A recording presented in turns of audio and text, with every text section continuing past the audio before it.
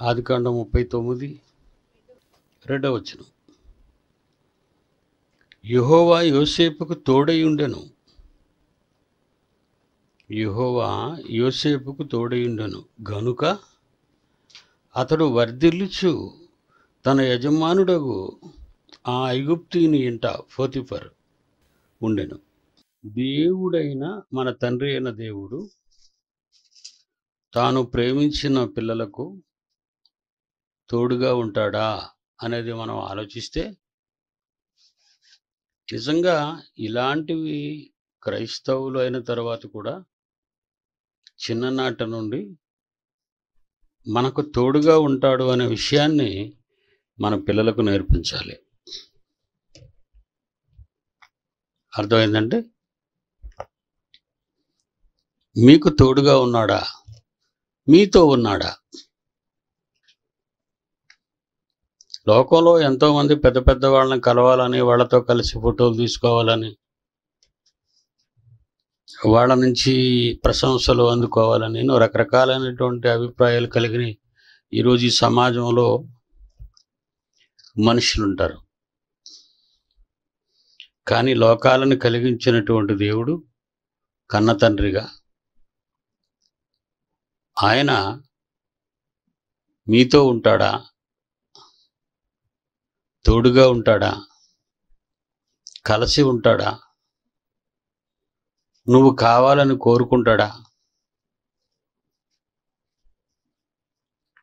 ఒక భార్య తన భర్త తన్నే ఇష్టపడాలని కోరుకోవాలని అనుకుంటూ ఉంటుంది. తన గురించి తన భర్త ఆలోచించాలని అనుకుంటుంది. పిల్లలు తండ్రి వైపు కొంతమంది ఉంటారు తల్లి వైపు కొంతమంది ఉంటారు.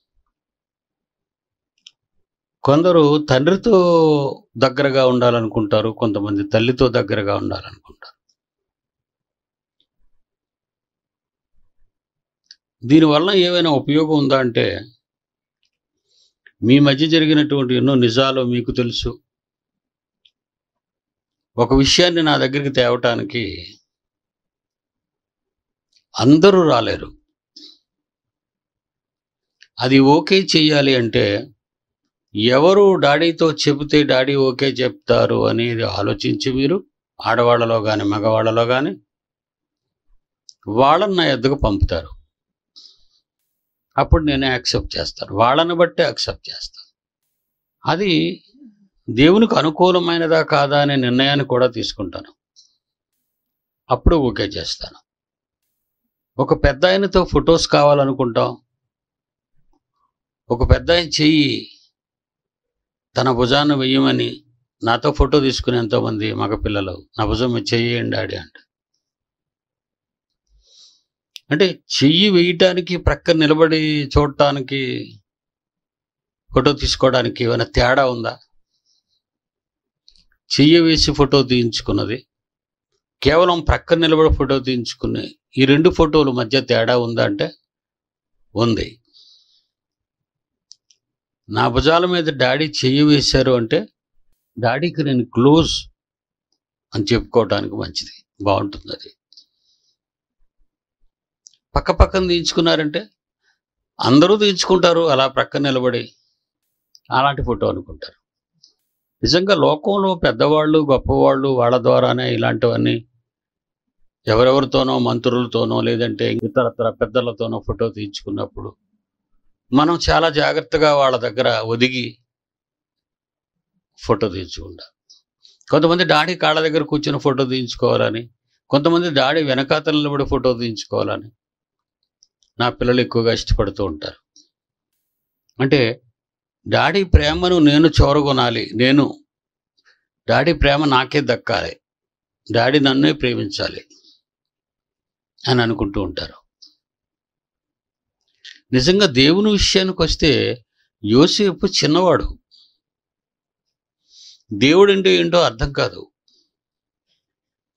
పసితనం. అన్నదమ్ముల మూర్ఖత్వం అన్నదమ్ముల తిరుగుబాటు అన్నదమ్ముల అసూయ. ఇవన్నీ ఎరుగని చిరుప్రాయం యోసేపుది. యోసేపును చంపాలనుకుంటారు. వస్తున్నాడు వస్తున్నాడు రా అదిగో వస్తున్నాడు వాడు. వాడిని మనం ఏదో చేయకపోతే అవదు. మనందరం పెద్దవాళ్ళమైనా మన తండ్రి దగ్గర వాడికే ఎక్కువ ప్రేమ అనుకున్నారు వాళ్ళు. ఇక యోసేపుని కన్న తండ్రి యాకోబు విషయంలో ఆలోచిస్తే నేను మృతుల లోకానికి వెళ్ళిపోతాను నా కొడుకు లేకపోతే అని తండ్రి ప్రేమను అంతా చొరగొన్నాడు యోసేపు. తండ్రి ప్రేమించటానికి కారణం ఏంటంటే చిన్న పిల్లడుగా అతడు కనిన కలలలోని భావాన్ని ఆలోచిస్తే తల్లిదండ్రులు మేము కూడా సాష్టాంగపడి నమస్కరించాలా వీడికి? కన్నవారికి అసూయ ఉండదు తప్ప అపరిమితమైన ప్రేమ పెరిగిపోతుండే పిల్లల మీద. అలాంటి అమాయకత్వంలో ఉన్న యోసేపును దేవుడు ఎలా ప్రేమించాడు? యోసేపు భవిష్యత్తు చూశాడు దేవుడు. యోసేపు భవిష్యత్తు చూసేసరికి తనకు ప్రియుడుగా కనబడుతున్నాడు. తనను కోరుకునేవాడుగా యోసేపు కనబడుతున్నాడు. ముందు యోసేపు దేవుడిని కోరుకోలేదు. దేవుడే ముందు యోసేపును కోరుకున్నాడు. యోసేపు ముందు దేవుణ్ణి ఎరుగలేదు. కళలో తెలీదు. కళలు భావాలు తెలియదు ఆయనకి. చిన్నపిల్లవాడు అలాంటి వయసున్న ఆ కాలంలో దేవుడు ఒక సమూహల్ని ఏ విధంగా అయితే చిన్నతనం నుండి కోరుకున్నాడో దగ్గరగా చేర్చుకున్నాడో నాయకత్వం గద్దెను ఎక్కించాడో మనందరికీ తెలుసు. మనం వెళ్ళే ఈ చరిత్ర పుటల్లో ప్రతి పుటలోనూ ఏదో ఒక అంతర్భాగం అనేది మానవ జీవితాల మీద ఆధారపడి ఉంటుంది అది. అలా బైబులు సుదీర్ఘంగా లోతుల్లోనికి వెళ్ళగలిగితే దేవుని అపరిమితమైన ప్రేమ. అందరూ ప్రేమన్నారు గొప్ప ప్రేమన్నారు మహాప్రేమన్నారేమో కానీ అపరిమితమైన ప్రేమ అనే మాట అపస్తుడని పౌలు అన్నాడు. ఉన్నతమైన చాలా లోతుల్లోనికి వెళ్ళాడు అతని ప్రేమ యొక్క లోతు దాని వెడల్పు దాని ఎత్తు ఇవన్నీ మాట్లాడే మాట్లాడినటువంటి ఒకే ఒక వ్యక్తి ఉన్నతంగా అపోస్తులందరిలో కనిపించేవాడు అపోస్తుడని పావులు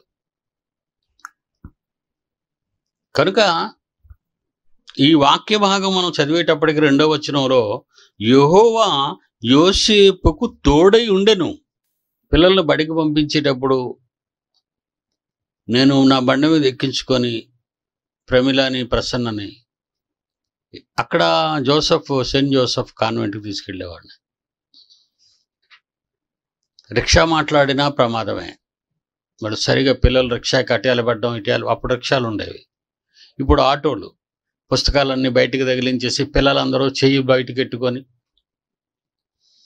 విపరీతంగా లోడ్ ఎక్కువైపోయి ఆటో వెళ్ళినప్పుడు ఎలాంటి ప్రమాదం జరిగినా పిల్లల్లో భయాందోళనతో పాటు గాయాలతో పాటు ప్రాణాలు పోగొట్టుకునేవారు కూడా ఉంటారు. అలాంటిది నా పిల్లలు కొండకూడదనే ఆలోచనతోనే.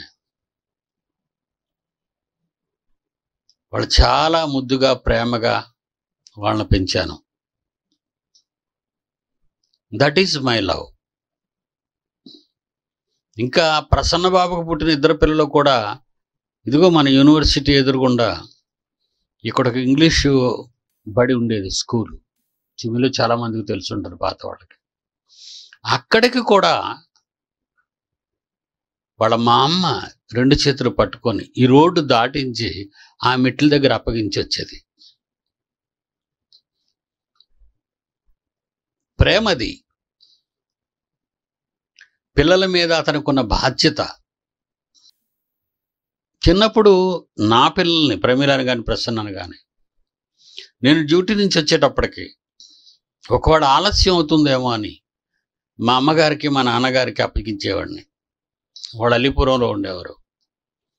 మా నాన్నగారు కంపల్సరిగా సెయింట్ జోసెఫ్ కాన్వెంట్కి వెళ్ళేవారు అక్కడికి గేటు దగ్గరికి. పిల్లలిద్దరిని పట్టుకొని ఆ చాలుమదు రోడ్డు ఎంత ట్రాఫిక్ ఉంటుందో మీకు తెలుసు. అవన్నీ దాటించుకొని ఇంటికి తీసుకొచ్చేవారు. నేను నా డ్యూటీ ముగించుకుని నేను వచ్చి పిల్లలు తీసుకొని అప్పుడు కైలాసపురంలో ఉండేవాడిని క్వార్టర్స్లో ఉండేవాడిని అక్కడికి తీసుకెళ్ళేవాడిని. బాధ్యత. ఏదో ఆటో మాట్లాడేసాం ఆటో మీద వెళ్ళిపోతున్నారు రిక్షా మాట్లాడేసాం రిక్షా మీద వెళ్ళిపోతున్నారు అని మనం అనుకుంటాం. కానీ నేను ఎందుకు అలా అనుకోలేదు?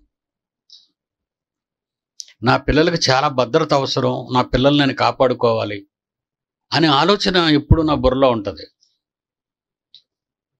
ఇప్పటికీ మీ అందరి విషయంలో అలాంటి ఆలోచన నాకు ఉంటుంది. మీరు సువార్తకెళ్ళండి ఎప్పటికప్పుడు సమాచారాన్ని అడుగుతూ ఉంటాను ఎక్కడున్నారు ఎలా ఉన్నారు ఏం జరుగుతుంది ఏం మాట్లాడారు. మళ్ళా వాళ్ళ ప్రయాణం మీరు ఎక్కడున్నారు ఎక్కడి నుంచి బయలుదేరారు వాళ్ళ ఇంటికి వచ్చినంత వరకు వాళ్ళ గురించి ఆలోచిస్తూనే ఉంటాను. మనుష్యుల ప్రేమ అలా ఉంటుంది కానీ దేవుని ప్రేమ.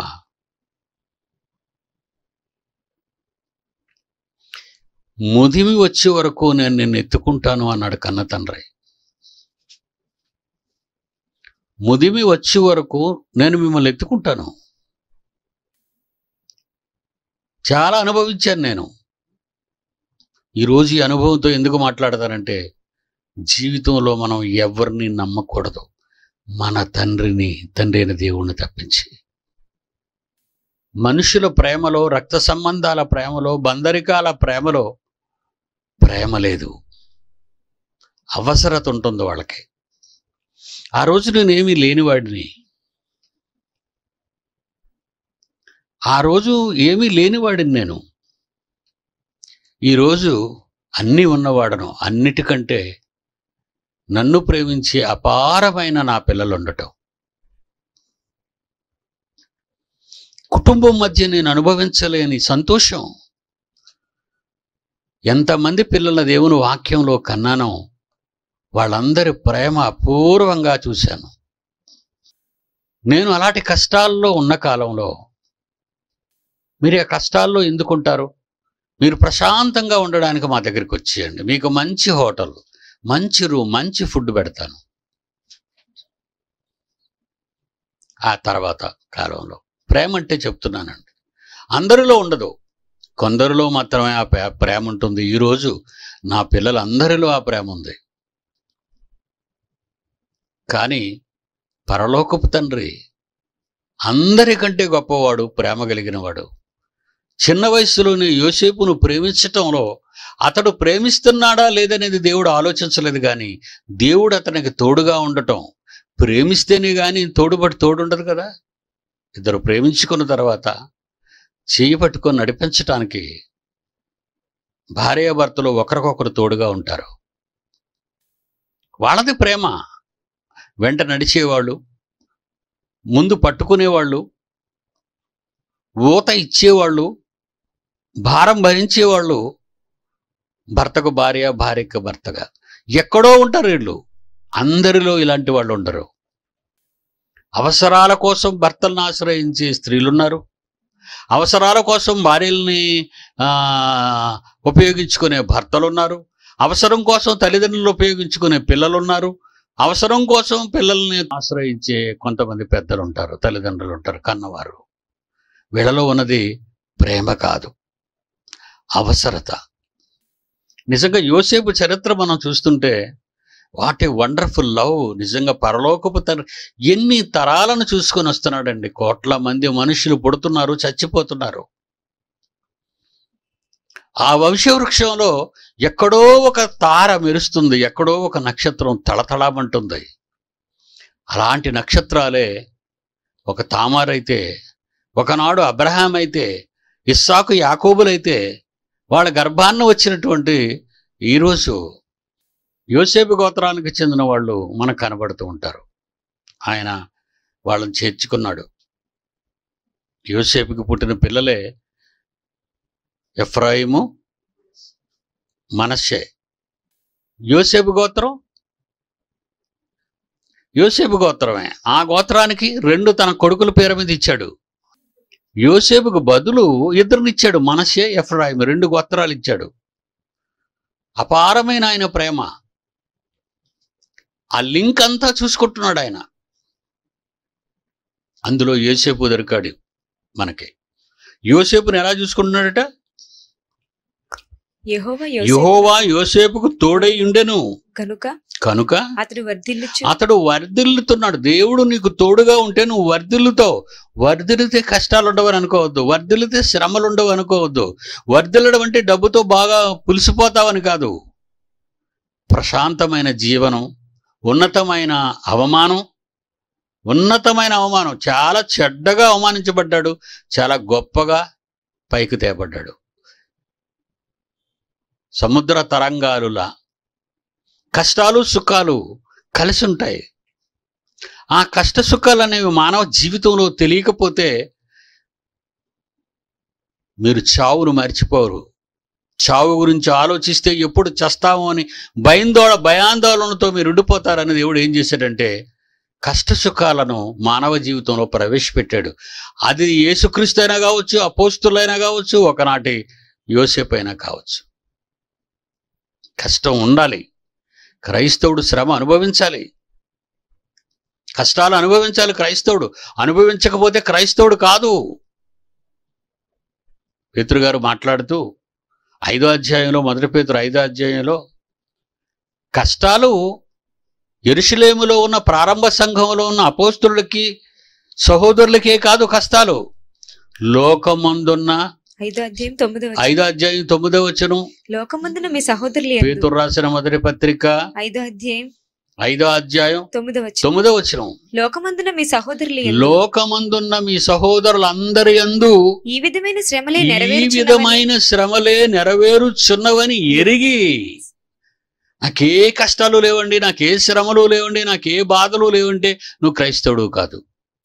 చూసారంటే కొంతమంది కొన్ని పనులు అప్పగించిన తర్వాత ఆ పని చేయడానికి వాళ్ళు ఏయో కారణాలు చెప్పుకుంటారు. టు ఎస్కేప్ ఆ పనిలో నుంచి తప్పించుకోవడానికి ప్రయత్నాలు వాళ్ళవి. అసలు కష్టాలే అనుభవించకపోతే మీరు క్రైస్తవులే కారు. నాలుగో అధ్యాయం అదే పేతురు గారు రాసినటువంటి పత్రిక మొదటి పత్రికలో నాలుగో అధ్యాయం పన్నెండో వచ్చిన నుంచి చదవండి. ప్రియులారా ప్రియులరా మిమ్మల్ని శోధించుటకు మీకు ఎందుకు కలుగుతున్నాయంటే మీకు పరీక్ష పెట్టాను. ఆ పరీక్షకు మిమ్మల్ని శ్రమల పాలు చేయటానికి సాతానుకు అధికారం ఇచ్చాను. అప్పుడు నిప్పులాంటి నిజం నిప్పులాంటి కష్టాలు నీ కళ్ళకు కనబడాలి నీవు శరీరంతో అనుభవించాలి. ఏమంటున్నాడు? మిమ్మల్ని మిమ్మల్ని శోధించుటకు మీకు కలుగుచున్న. మీకు కలుగుచున్న. అగ్ని వంటి అగ్ని వంటి మహాశ్రమలు అలాంటి కష్టాలు మీరు వచ్చారా ఆలోచించండి. క్రైస్తవులు ఏంటంటే చాలా హ్యాపీగా ఉన్నట్టుంటారు ఎప్పుడూను? దేవుని కొరకు ఈ అనుభవం దేవుని కొరకు. నీ పిల్లలు నేరం చేయటం వలన జైలు పాలవుతున్నారు అనేది కా- అక్కడ కా- ఇది అది కాదు ఇది. దేవుని కోసం శ్రమలు అనుభవిస్తున్నారా? ప్రియులారా మీకు కలుగుచున్న అగ్ని వంటి మహాశ్రమను గూర్చి మీకేదో ఒక వింత సంభవించినట్టు ఏదో అయిపోతాం ఏంటో అయిపోతాం అని మీరు అనుకుంటున్నారా? ఆశ్చర్యపడకుడి. ఆశ్చర్యపడకండి. క్రీస్తు మహిమ బయలుపరచబడినప్పుడు నీలో యేసుక్రీస్తు బయలుపరచబడాలి. ఆయన చావు వరకు ఎలా సహించుకొని కన్న తండ్రి ఇష్టాన్ని భూమి మీద నెరవేర్చటానికి నిలబడగలిగాడో మనలాంటి శరీరాన్ని కలిగిన వాడే ఆకలి దప్పులు కలిగిన వాడే గాయం అయితే రక్తం కార్చిన వాడే. మనకెన్ని బాధలు శరీరంలో మానవ ఆకారానికి ఉన్నాయి అన్ని బాధలు యేసుక్రీస్తు శరీరంలో ఉన్నాయి. అన్ని అనుభవించాడు. నా కొడుకు కదా ఇతను స్పెషల్గా చూద్దామని తండ్రి అనుకోలేదు మన పరలోకపు తండ్రి. మనకందరికీ ఎలాంటి శ్రమలు? అలాంటి శ్రమలే యేసుక్రీస్తు కూడా అనుభవించాడు. అవమానాలు నిందలు ఈ రోజు వరకు ఆయన మీద కళంకమే తెస్తున్నారు అందరూ. కలుగుచున్న అగ్ని వంటి మహాశ్రమను గూర్చి మీకేదో మీకేదో వింత వింత సంభవించి- సంభవించినట్లు ఆశ్చర్యపడకండి. క్రీస్తు మహిమ క్రీస్తు బయలుపరచబడినప్పుడు మహిమ క్రైస్తవులను చెప్పుకునే మీలో బయటకు రావాలి. వస్తే మీరు మహా ఆనందముతో మీరు మహానందముతో సంతోషించు నిమిత్తం సంతోషించు నిమిత్తము. క్రీస్తు శ్రమలలో మీరు క్రీస్తు పాలివారై శ్రమలలో మీరు పాలివారై. ఉన్నంతగా సంతోషించుడి. మీరు పాలివారు. అమ్మా నేను క్రీస్తు శ్రమల్లో అమ్మో అన్నయ్య పడినట్టు నేను కూడా పడుతున్నాను. ఎంత సంతోషం అని నువ్వు ఆనందించమన్నాడు అప్పుడు నిన్ను వెర్రిదానిలా మాట్లాడుతున్నావు. దేవుడు సుఖాన్ని ఇస్తే అనుభవించగలమా? కష్టాన్ని ఇస్తే అనుభవించలేమా? తల్లి గర్భము నుండి దిగంబరిగా వచ్చాము. దిగంబరిగానే వెళ్ళిపోతాం. మూర్ఖురాలు మాట్లాడినట్లు మాట్లాడుతున్నావు. తన వైఫ్తో చెప్తున్నాడు యోబు. మీకు తెలుసది. అనుభవించాలి. మరి యేసుక్రీస్తు నీలో మహింపరచబడాలిగా? యేసుక్రీస్తు నీలో కనిపించాలిగా లోకానికి? ఈ రోజు నా పిల్లలందరిలో యేసుక్రీస్తు బాగా కనబడుతున్నాడు. వాళ్ళ క- వాళ్ళ పుణ్యకార్యాలు ఆహార పంపిణీ నీళ్ళ పంపిణీ మజ్జిగ పంపిణీ భోజన పంపిణీ బట్టల పంపిణీ బెడ్షీట్ల పంపిణీ రక్తం పంపిణీ జీవం పంపిణీ. నా పిల్లలందరిలో క్రీస్తు మహిమపరచబడుతున్నాడు అంటానది. చేయగలుగుతున్నారు. చేయాలి. చేయకపోతే ఎలా? క్రీస్తు మహిమ బయలుపరచబడాలిగా మీలో? మీకు కలుగుచున్న అగ్ని వంటి మహాశ్రమను గురించి మీకేదో? వింత వింత సంభవించిన సంభవించినట్లు ఆశ్చర్యపడకండి క్రైస్తవులారా. క్రీస్తు మహిమ క్రీస్తు మహిమ మీ కష్టాలలో బయలుపరచబడితే మీరు మహా మీరు మహానందముతో సంతోషించు నిమిత్తం సంతోషించి నిమిత్తము. క్రీస్తు శ్రమలలో క్రీస్తు. శ్రమలలో పాలివారై ఉన్నంతగా సంతోషించుడి. ఆనందించండి సంతోషించండి. ఐదో అధ్యాయం వచ్చేసరికి ఏమన్నాడు? లోకమందున్న మీ సహోదరులు ఎందు. మీ- మీ మీ సహోదరులు సహోదరులందరి ఎందు క్రైస్తవులని క్రీస్తులోనికి వచ్చిన వారందరి శ్రమలే నిజమైన ట్రూ క్రిస్టియన్ నిజమైన క్రైస్తవులందరి అందు ఈ విధమైన శ్రమలే నెరవేర్చున్న నెరవేరుచున్నవని ఎరిగి విశ్వాసమందు స్థిరులై విశ్వాసమందు మీ నమ్మకాన్ని పోగొట్టుకోకుండా స్థిరంగా ఉండండి. వానిని ఎదిరించుడి. వారిని ఎదిరించండి పర్వాలేదు అన్నాడు. శ్రమలు లేనిది క్రైస్తవ్యం కాదు. కానీ ఈరోజు సాతాను ఎలా మార్చేసిందంటే ఈ క్రైస్తవ్యాన్ని ప్రభువు నమ్ముకుంటే గర్భవతి అవుతావు ప్రభువు నమ్ముకుంటే ఆస్తులు వచ్చేస్తాయి ప్రభువు నమ్ముకుంటే పిల్లలు పడతారు ప్రభువు నమ్ముకుంటే ఆ రోగం పోతుంది ప్రభువు నమ్ముకుంటే చూసారండి అన్ని వరాలే. ప్రభువు నమ్ముకుంటే కష్టాలు వస్తాయని ఎవరైనా చెప్తారండి? నిజంగా ఆనాడు యోసేపు దేవుడే ఈరోజు ఈ క్రైస్తవ్యానికి ఈ సంగతులు రాశాడు. ఆయన చెబితేనే కదా పరిశుద్ధాత్మ ప్రేరణతో రాయబడ్డాయి. దేవుడు మరి మాట్లాడుతూ ఏమని చెప్తున్నాడు? మోషేతో. ఏమని చెప్తున్నాడు మోషేతో? మోషే కదండి రాశాడు అది కాండం. ఏమని చెప్పాడు? యెహోవా యోసేపునకు యోహో యెహోవా యోసేపునకు తోడై తోడయుండును గనుక అతడు వర్ధిల్లుతూ తన యజమానుడగు ఐగుప్తిని ఇంట ఉండెను. ఉండెను. అమ్మయ్యా నేను సుఖపడ్డానా? నేను ఒక దారికి వచ్చానా నేను ఒక గొప్ప ఇంటిలో చేరుకున్నానా? అనుకునే రోజులవి. అలాగ కొద్ది రోజులు గడిచేసరికి నీకు కనబడని ఎన్నో భయంకరమైన విపత్తులు నీ మీద రాబోతున్నాయి. ప్రతి క్రైస్తవుడు దీన్ని గుర్తుంచుకోవాలి. ప్రతి దైవజనుడు దీన్ని గుర్తుంచుకోవాలి. కొన్ని వచనాలు దేవుని గురించిన సందర్భాన్ని మనం జ్ఞాపకం చేసుకుందాం. ఇరవై ఒకటో వచ్చిన ఒకసారి చూద్దాం. ఆది కాండం ముప్పై తొమ్మిది అధ్యాయం. ముప్పై తొమ్మిదో అధ్యాయం ఇరవై ఒకటి ఇరవై ఒకటో వచ్చిన అయితే యెహోవా అయితే యెహోవా యోసేపునకు తోడయ్యుండి. యోసేపునకు తోడయ్యుండి. అతని ఎందుకు కనికరపడి. కష్టాలలో ఉన్నప్పుడు జ్ఞాపకం చేసుకునడం వల్ల చెరసాలలో ఉన్నప్పుడు సందర్భం మన ముందుకు వెళితే మనం దీన్ని తెలుసుకుంటాం. నిన్నెప్పుడు మర్చిపోడు ఆయన. మన దగ్గర డబ్బున్నంత వరకు మన చుట్టూ తిరిగేవాళ్ళే. తేడా జరిగితే బయటకు పోయి నీచ నికృష్టంగా మాట్లాడే ఎన్నో నాలుకలు కానీ నువ్వు నమ్ముకున్న దేవుడు చాలా గొప్పవాడు. ఆయన ఎవరో కాదు నీ కన్న తండ్రి. నిన్ను కన్నవాడు. ఇరవై ఒకటో అధ్యాయం. ఇరవై రెండో వచ్చిన మరొకసారి చూద్దాం ఆది కాండం. గతానికి వెళదాం. ఆది కాండం ఇరవై ఒకటో అధ్యాయం.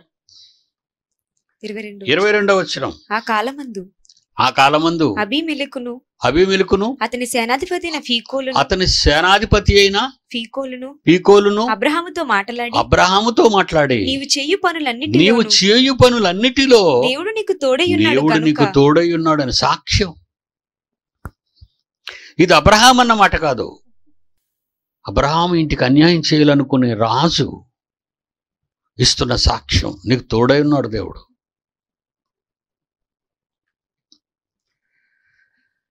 సమూయేలు పదహారో అధ్యాయం పద్దెనిమిదో వచనం చూడండి. మొదటి సమూయేలు పదహారు పద్దెనిమిది. పదహారు పద్దెనిమిది. చిత్తగించుము. చిత్తగించుము. బెత్లహేమీడైన యెషయ్య యొక్క కుమారులలో బెత్లహేమీయుడైన యొక్క కుమారులలో ఒకని చూచి తిని. ఒకరిని చూచి తిని అతడు చమత్కారముగా వాయింపగలడు. అతడు చమత్కారముగా వాయించగలడు. అతడు బహుశూరుడును అతడు పరాక్రమవంతుడు. యుద్ధశాలియు. యుద్ధశాలి. మాట నేర్పరియు. మాట నేర్పరి. రూపసీ ఉన్నాడు రూపసి అందగాడు. మరియు యెహోవా వానికి తోడుగా ఉన్నాడు మరియు యెహోవా అతనికి తోడుగా ఉన్నాడు. ఈయనెవరు దావీదు. తోడుగా ఉండడం అంటే కోట్ల మందిలో ఎవరికో ఒకరితో తోడుగా ఉంటాడు ఆయన. అందరికీ తోడుగా ఉంటాడా? అందరూ ఆయనకి ఇష్టలుగా బ్రతుకుతారా?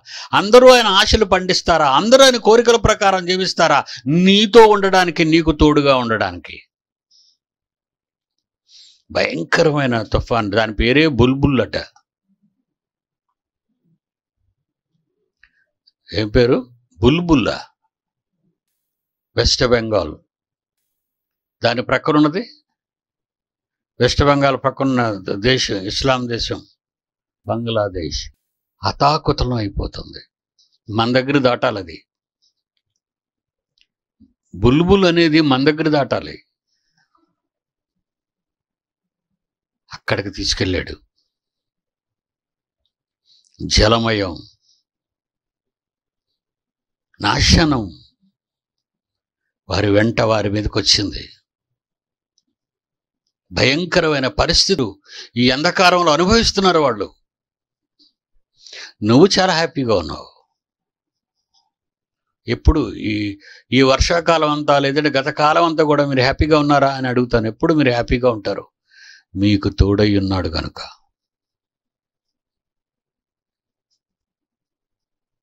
అరేబియా సముద్రంలో పుట్టింది. బెహరన్ నుంచి ప్రయాణం చేసింది. అరేబియా అరేబియా సముద్రం మీదుగా బొంబాయిని తాకింది. అది మన తెలుగు రాష్ట్రాలను ముంచెత్తుతుందని వార్తలు వచ్చినా అది మన దగ్గరికి రాలేదు. ఎన్నో తుమా ఎన్నో ఎన్నో తుఫాన్లు భయంకరమైన తుఫాన్లు. మంది వర్షాకాలం కాదు తుఫాన్ల కాలం. అనేక మహాపట్టణాలు మునిగిపోయాయి. ప్రపంచ దేశాలు మునిగిపోయాయి. నదులు పొంగిపోయాయి సముద్ర పొర్లి భూమి మీదకి వచ్చేసాయి. ఈ వర్షాకాలంలో యహోవా మీకు తోడుగా ఉన్నాడు. మీ గుడిసె చెదరలేదు. మీ జీవం ఆగలేదు. ఎందుకో తెలుసా? ఆయన కోసం మీరు కష్టపడుతున్నారు. మీరెవరో ఆయనకు తెలుసు. అన్ని తరాలలో ఉండేవాళ్ళు కాదు మీరు. ఈ తరంలో పుట్టిన వాళ్ళు అపోస్తుల తర్వాత ప్రారంభ క్రైస్తవ్యం తర్వాత రెండు వేల సంవత్సరాలు గత చరిత్రలో ఎవరితో ఉన్నాడు ఆయన? రెండు వేలు సంవత్సరాలు మన కోసం వెయిట్ చేశాడు మనతో ఉండాలని. బాగా ఆలోచించండి మీరు. మనం ఎన్ని కార్యక్రమాలు చేస్తున్నాం? రాబోతున్న ఇరవయో శతాబ్దంలో రాబోతున్న ఇరవై ఇరవై ఒకటో శతాబ్దంలో రాబోతున్న నా పిల్లలు అని పంతొమ్మిది సంవత్సరాల పంతొమ్మిది వందల సంవత్సరాలలో మనుషులు ఎంత కీడు చేసినా దేవుడు ఎందుకు సహించుకొని ఉన్నాడో తెలుసా? మన కోసం. మనందరి కోసం. ఆయన పిల్లలు మీరే. వాళ్ళెవరో కాదు. ఆయన పిల్లలు మీరే గనుక ఎదురు చూశాడు. పద్దెనిమిదో అధ్యాయం పద్నాలుగో వచ్చిన మొదటి సమూహలు మొదటి సమూహలు పద్దెనిమిదో అధ్యాయం పద్నాలుగో వచనం. మరియు దావీదు ఇరవై ఎనిమిదో వచనం. మరియు దావీదు సమస్త విషయములలో సమస్త విషయములలో సుబుద్ధి కలిగి ప్రవర్తింపగా. సుబుద్ధి కలిగి ప్రవర్తింపగా. దేవునికి అనుకూలంగా మంచి బుద్ధి కలిగి ప్రవర్తింపగా. యహోవా అతనికి తోడుగా ఉండే అతనికి తోడుగా ఉండేను. నువ్వు మంచి బుద్ధి ఉన్నంత కాలమే దేవుడు నీతో ఉంటాడు.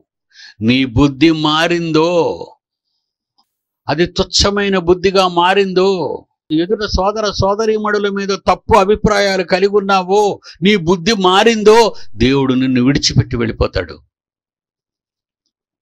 మీలో ఉన్న దేవుని ఆత్మకు క్రొత్త నిబంధనలు ఏమన్నాడు? మీలో ఉన్న దేవుని ఆత్మకు సంతోషం ఉండదు వెళ్ళిపోద్ది. ఎబ్రి పత్రిక. పదో పద్- పదో అధ్యాయం పదో అధ్యాయము ముప్పై ఎనిమిదో వచ్చిన హెబ్రి పత్రిక పద్- పత్రిక పదో అధ్యాయం ముప్పై ఎనిమిదో ముప్పై ఎనిమిదో వచ్చినం నా ఎదుట నా ఎదుట నీతిమంతుడైన వాడు నీతిమంతుడైన వాడు విశ్వాస మూలముగా జీవించును విశ్వాస మూలముగా జీవించును గాని అతడు వెనుక తీసిన అతడు నా ఎడల వెనుక తీశాడు. అతని ఎందు నా ఆత్మకు అతను ఎందు నా ఆత్మ సంతోషం ఉండదు సంతోషం ఉండదు నా ఆత్మకు సంతోషం ఉండదు వెళ్ళిపోతాడు. నీ బుద్ధి మారిందో? అప్పుడప్పుడు అంటుంటావు రే మునుపటి బుద్ధి కాదురా నీలో ఏదో మార్పు జరిగింది అంటాం. కొంతమంది ఎలా ఉంటారండి? ప్రారంభంలో ఎంతో భక్తిగా ఎంతో వినయంగా అబ్బో ఇదంతా నా పని అన్నట్టుగా చేస్తారు. కొన్ని దినాలు గడిచిన తర్వాత బుద్ధి మారిపోద్ది వాడది ప్రారంభంలో ఎలా కనబడతారు సమాజానికి? మన అందరికి ఎలా కనబడతారు? అమ్మో దేవుని కొరకు ఎంత ప్రేమ అమ్మో దేవుని కొరకు ఎంత పనులు చేస్తున్నారు అది నీ తుది శ్వాస వరకు దేవునిలో నమ్మకంగా ఉండాలి తప్ప మధ్యలో బ్రేక్ ఇచ్చావా? నీ లైఫ్ బ్రేక్ అయిపోతుంది. స్టాప్ అయిపోతుంది. మళ్ళీ అది రీకనెక్ట్ అవ్వాలంటే చాలా కష్టం. ఇరవై ఎనిమిదో వచనం అదే అధ్యాయంలో. మొదటి సమూహలు పద్దెనిమిదో అధ్యాయం ఇరవై ఎనిమిదో వచ్చిన యెహోవా దావీదునకు యెహోవా దావీదునకు తోడుగా నుండుటయు? తోడుగా ఉండుట. తన కుమార్తె అయిన మేకాలు? తన కుమార్తె అయిన మేకాలు అతన్ని ప్రేమించుటయు? అతన్ని ప్రేమించుట. సౌలు చూచి సౌలు చూచి దావీదునకు మరి ఎక్కువగా భయపడి. దావీదునకు మరి ఎక్కువగా భయపడ్డాడట. పిల్లనిచ్చిన మామైనా పిల్లనిచ్చిన మామైనా మెచ్చుకున్న ఎవరైనా దేవుని కుమారుణ్ణి దేవునిలో భగిభక్తులు కలిగి ఉన్నవానిని దేని దేవుని క్రియలు చేయువానిని వారిని చూసి లోకం భయపడాలి. ఒక రాజు భయపడుతున్నాడు దావీదికి. మోరోవర్ తన కూతురే దావీదు కావాలి నేను పెళ్ళి చేసుకుంటాను. తనే చెప్పాడు నబ్బా నా కూతురు నుంచి పెళ్ళి చేస్తాను. గొలియతను ఎవరైతే చంపుతారో అర్ధరాజ్యం ఇచ్చి నా కూతురు నుంచి పెళ్ళి చేస్తాను అన్నాడు. భయపడ్డాడు గొలియతుని చంపిన తర్వాత. దేవుడు తోడుగా ఉన్నాడు. దేవుడు తోడుగా ఉన్నాడు గనక అపోస్తుల కార్యాలు చివరిగా. అపోస్తుల కార్యములు ఏడవ అధ్యాయము తొమ్మిదవ వచనం.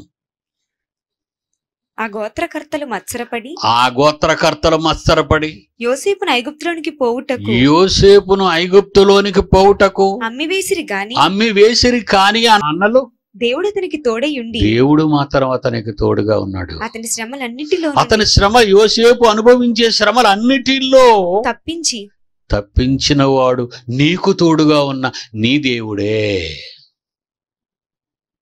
అతని శ్రమలన్నిటిలో తప్పించి తప్పించి దయను జ్ఞానమును దయను జ్ఞానమును ఐగుప్తు రాజైన ఫరో ఎదుట ఐగుప్తు రాజు అయిన ఫరో ఎదుట అతనికి అనుగ్రహించినందున అతనికి అనుగ్రహించినందున ఫరో ఐగుప్తునకును ఫరో ఐగుప్తునకు తన ఇంటికి అంతటికి తన ఇంటికంతటికి అతనిని అధిపతిగా నియమించాడు. యోసేపుని అధిపతిగా నియమించాడు.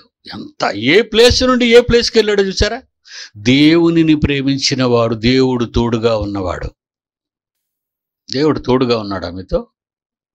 మీతో తోడుగా ఉన్నాడో లేదో మీరు దేవుని కొరకు చేస్తున్న పనులను బట్టి మీరు ఆలోచించండి. అది చెయ్యాలని చేస్తున్నావా? ఇది తప్పదరా అని చేస్తున్నావా? వెళ్ళకపోతే బాగోదని వస్తున్నావా? ఏముంది నీలో?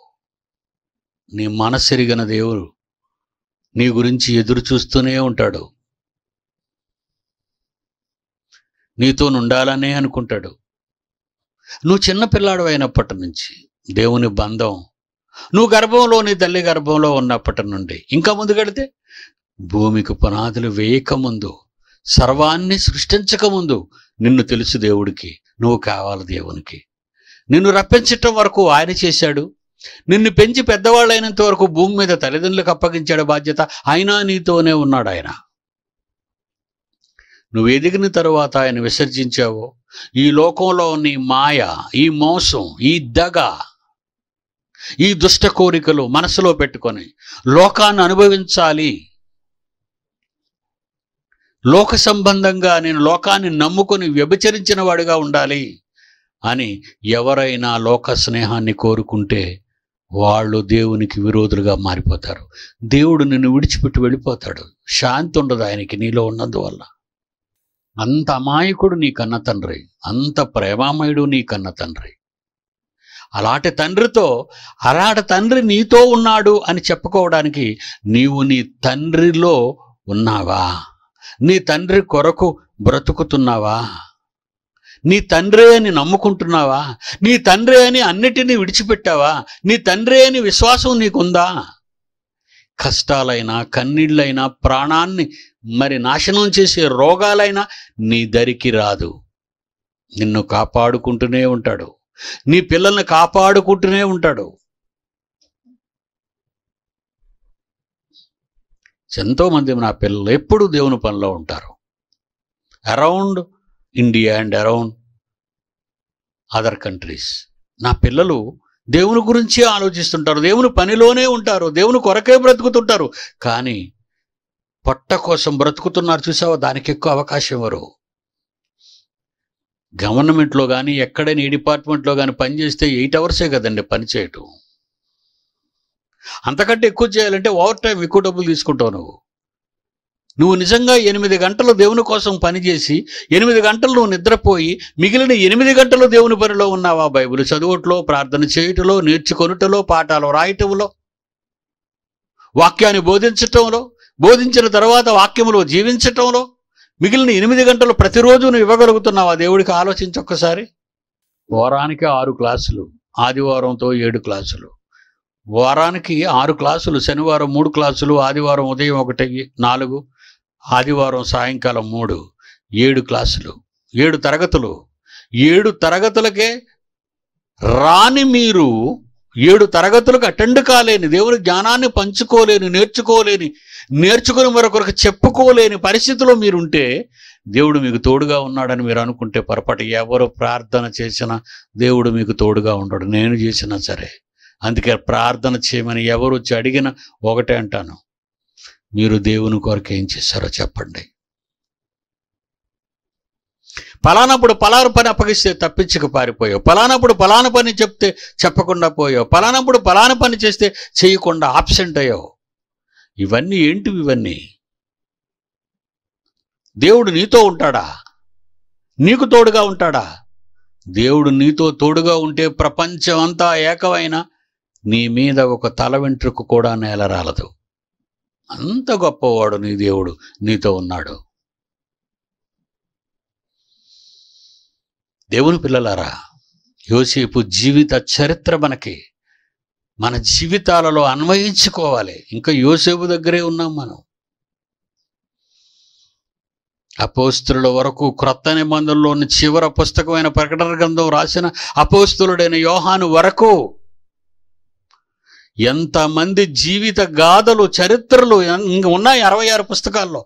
వీళ్ళందరి జీవితాలు ఏమయ్యాయో ఎలా అయ్యాయో ఎలా జీవించారో అవన్నీ మీరు నేర్చుకోరా. చాలా మందికి ఉదయాన్ని అందుకే బుద్ధి చెప్పాను. చాలా మంది ఐదు నుంచి ఆరు వరకు క్లాస్ చూడటం లేదు. ఆరు నుంచి ఏడు వరకు క్లాస్ వినటం లేదు. డాడీ క్లాస్కి మాత్రమే ఉంటావా? అంటే? మహాజ్ఞానులైన వారిద్దరూ చెప్పిన వాక్యం కంటే గొప్ప దానవా గొప్పవాడవా నీవు ఆ తరగతి చూడకుండా మానేయటానికి? ఆల్ ప్రిన్సిపాల్స్ ఆల్ కోఆర్డినేటర్స్ వాళ్ళ దగ్గర చదువుతున్న విద్యార్థిని విద్యార్థులందరినీ హెచ్చరిస్తున్నాను.